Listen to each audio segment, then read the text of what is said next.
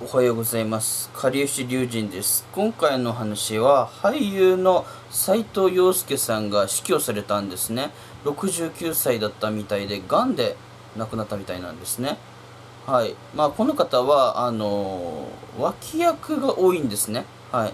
名脇役で、名脇役として活躍してきたみたいで、はい。まあ、そういう俳優さんなんですけれど、まあ、斉藤洋介さんは19日の夕方に死去したんですね。はい。まあ、そういうことになってて、まあ、複数の関係者によると、数ヶ月前に癌が見つかり、入院してたみたいなんですね。まあ、放射線治療などを続けていたみたいで、まあ、そういうことがあったみたいなんですね。はい。まあ、この斉藤洋介さんは、まあ、いろんなドラマや、まあ、映画にも結構出てた方なんですけど、どちらかというとドラマの方が多いかもしれませんね。はい。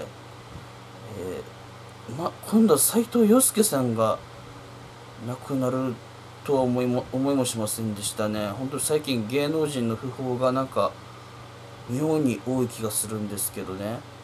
はい。まさか斉藤洋介さんまであの世に行くとは今ですけど思いもしませんでしたね。はい。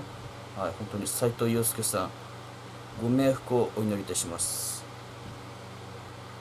では失礼します。